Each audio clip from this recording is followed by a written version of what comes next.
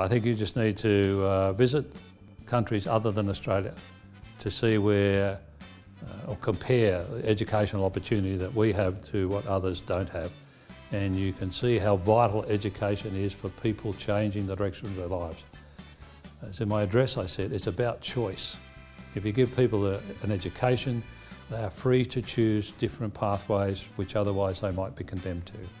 Uh, so anything we can do to help invent intervene into kids' lives to give them opportunity to have choices in their lives uh, should be something we work hard to do.